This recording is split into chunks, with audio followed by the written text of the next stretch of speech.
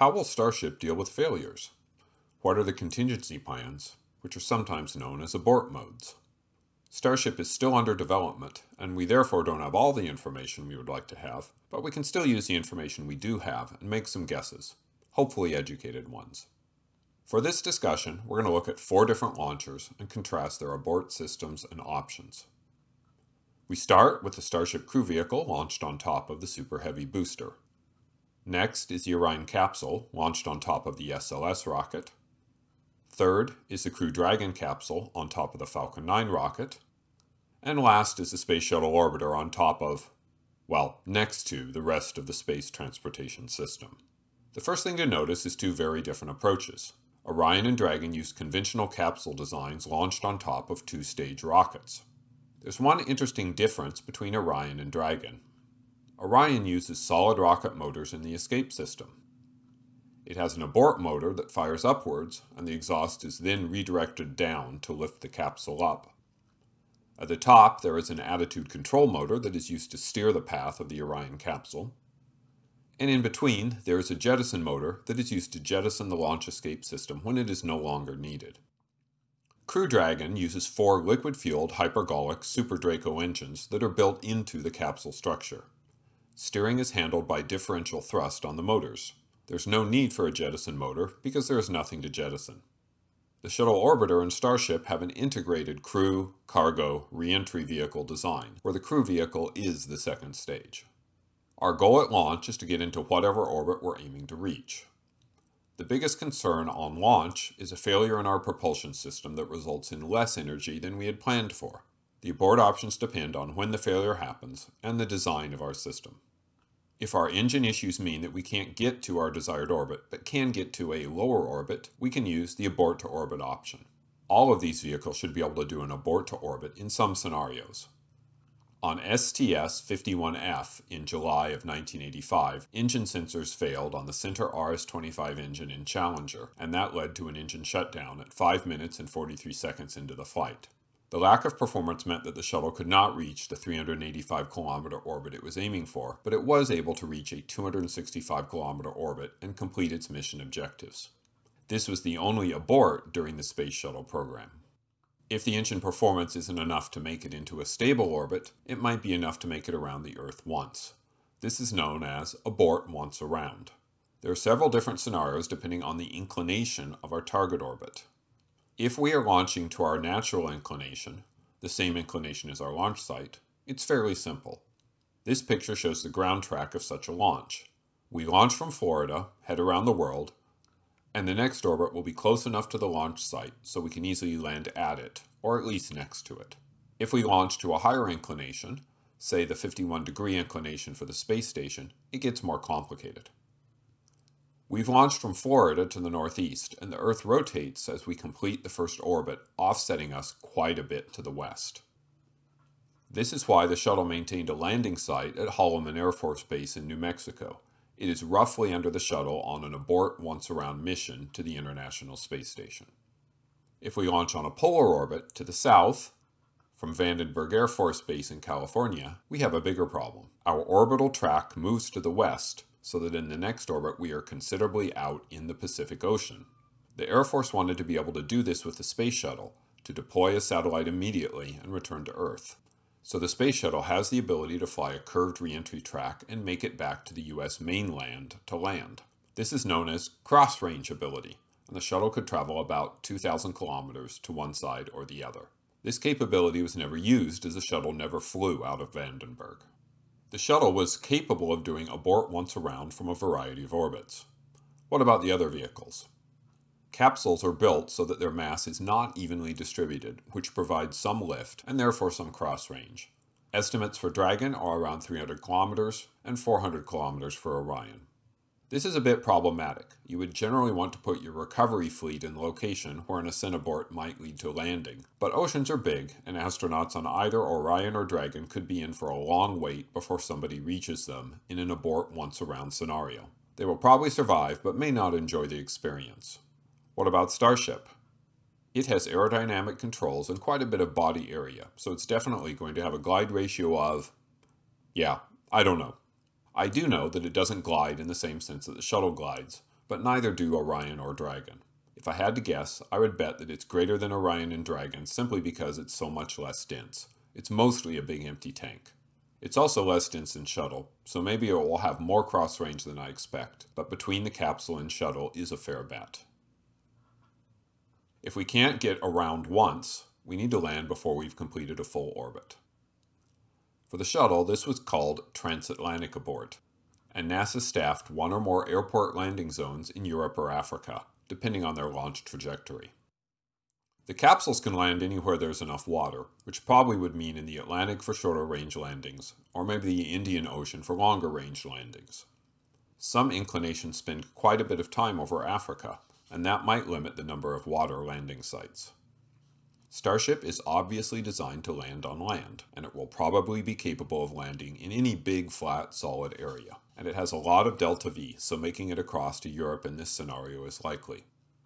However, there's no reason that it couldn't land in the ocean if it had to, as Falcon 9 demonstrated that ability. Given a sealed crew section, it's probably as survivable as an Orion or Dragon landing away from the recovery fleet.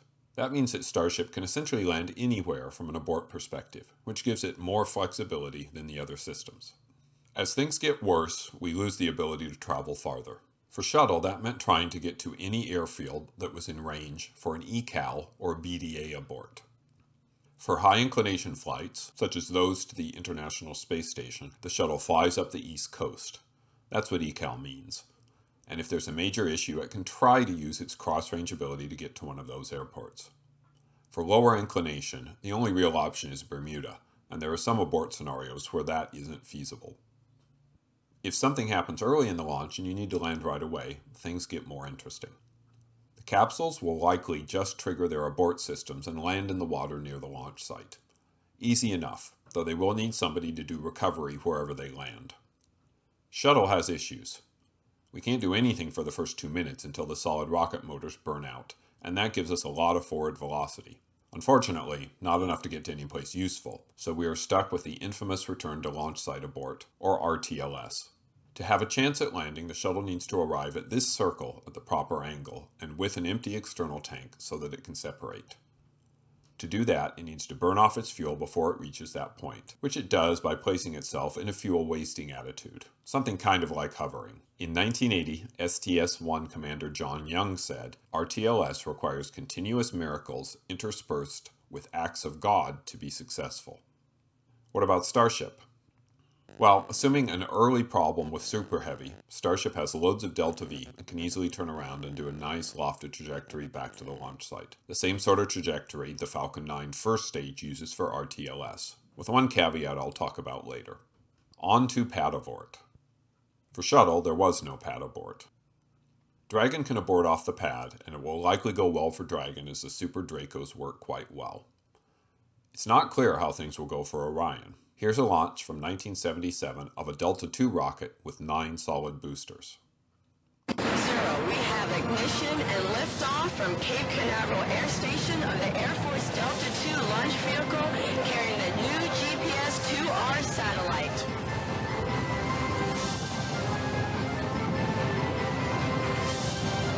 Then, just seconds into the mission, an explosion rocks the Cape. We uh, just had an anomaly of the Delta II launch vehicle from Cape Canaveral Air Station. We need to secure the area. More than 250 tons of flaming debris and rocket fuel rain down from the sky.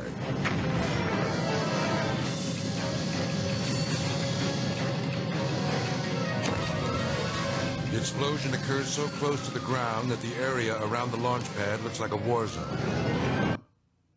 The SLS uses very large solid rocket boosters, and as we can see, a failure can throw burning solid propellant high in the air, perhaps high enough to reach the capsule or the capsule's parachutes. NASA models suggest that this is unlikely, though there is no consensus inside NASA about this issue. So Orion gets a check mark with an asterisk. What about Starship? Well, it gets a bit complicated because we don't know what the crew Starship configuration will be. The design seems to have converged on three sea level Raptors in the middle of the stage, but it's not clear how many vacuum Raptors there will be. The original design called for three, but Musk recently tweeted they would go to six. This has significant impact on the abort scenarios because the number of engines determines the power to weight ratio, and that determines how quickly Starship could accelerate during an abort. This graph looks at different payload sizes and different numbers of engines. The usual caveats about everything related to Starship being an estimate apply here. Starting with the 6-engine blue line, if we are planning a full 100-ton payload, the thrust-to-weight ratio is 1.002. Start up six engines and Starship will just hover on top of Super Heavy for a few seconds before it burns off enough fuel to start moving upwards. That will heat up the top of Super Heavy considerably, probably enough to rupture the propellant tanks. Not a good idea. If we are willing to accept less payload, 25 tons, we can get the power to weight ratio up to a little over 1.5, which will allow for a reasonably quick escape. With 9 engines, we get a power to weight ratio of 1.5 with full payload, and 2.25 with a 25 ton payload. For reference, the Dragon escape system will generate 4.5 Gs of acceleration, and the Orion 7 Gs of acceleration. Those systems will trigger very quickly, while the Raptors on Starship will take some time to generate full thrust. One more complication. To start the engines on the second stage before the stages are separated, the exhaust from the second stage engines needs somewhere to go, the Russians used this design on some of their rockets, including the Proton shown here, and the US used it in the past on the Titan II missile. There's one final complication for Starship. Crew Starship will start with a mass of at least 950 tons. It is designed to re-enter and land with about 150 tons.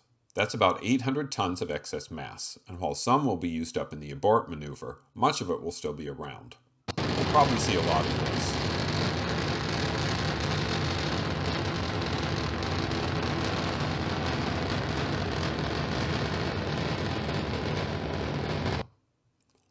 Starship can likely do a pad abort, but it's going to be slower than Orion or Dragon, and is going to be spending time getting rid of a lot of fuel, so it gets a check mark with two asterisks. What are the launch timelines and options for each vehicle? The Space Shuttle burned its solid rocket boosters for 120 seconds. It is not possible to start an abort during that time period, and there are no abort options if the solid rockets malfunction. The abort options for a single main engine failure depend on when the failure happens. If it's early in the launch, RTLS is required, then TAL, then ATO. After 6.5 minutes, no abort is required due to a single engine failure. Multiple engine failure scenarios get more complicated. If you want all the details, see my Space Shuttle abort options video. For Falcon 9, the capsule can abort at any point from the pad all the way into orbit, though the Super Draco abort thrusters may not be necessary later in the launch. The Falcon 9 first stage has sufficient performance to deal with one engine failure during its flight, but there is no redundancy in the second stage engine. Late in the launch, there are other options, such as abort once around or abort to orbit. SLS has a launch escape system for the first three and a half minutes, and that covers the time that the solid rockets are running, so it's better than Shuttle in that regard. It does have less escape system coverage than the Super Dracos on Dragon, but there's probably no significant difference in safety. Like Shuttle, it will be tolerant of engine failures late in the launch. Interestingly, for Artemis 1 at least, the ICPS second stage isn't actually used to get into orbit. It's used to get out of the orbit and head towards the moon, so it doesn't impact the ascent abort scenarios. Super Heavy provides significant engine redundancy with the ability to tolerate three engine failures and complete its mission. I also expect that Starship will be able to abort during the time that Super Heavy is operating. Starship will tolerate some engine failures on ascent. How many it can tolerate will depend on how many engines SpaceX puts on the crew version, which engines fail, and when the failures happen, but my guess is that two engine failures will likely be okay if there are nine installed. Starship will also have what the shuttle program calls intact aborts, other options if something significant happens on ascent. One more complication.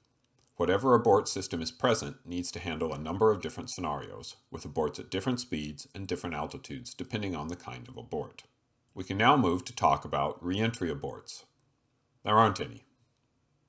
That's not quite true. For shuttle, if you manage to make it through the hot part of reentry and end up in a controlled glide but can't land, there's a small window when you can bail out, parachute down, and maybe survive. But it's a small window. For the other vehicles, there is no plan B.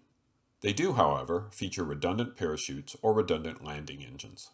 I talked quite a bit about Starship and landing in my People on Starship video, which I'll link in the upper corner. The summary is that if Raptor engines are reasonably reliable, as reliable as the Merlin or Space Shuttle RS-25, the chances of all three failing is very, very low. Parachutes are interestingly more problematic. This is a chart showing parachute testing for the Orion capsule, showing the parachute deployment altitude on the vertical axis and the speed on the horizontal axis.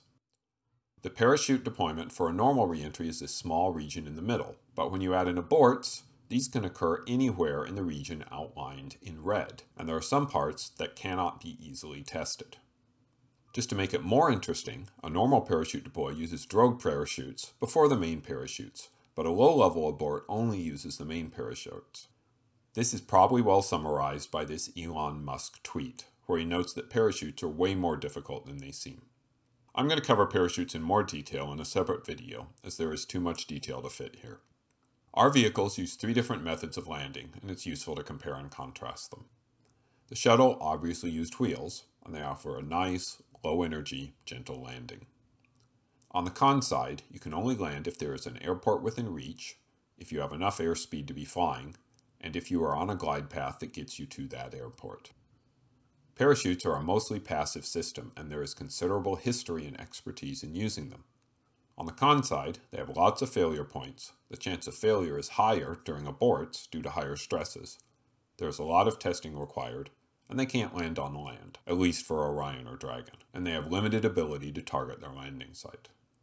Finally, engines allow your vehicle to have a lot of delta V during abort and therefore lots of options, and they have considerable redundancy. On the con side, their ground approach is high energy and there are no options if the engines don't work. I hope you've enjoyed this talk about abort options. If you like this video, please bake yourself a cake.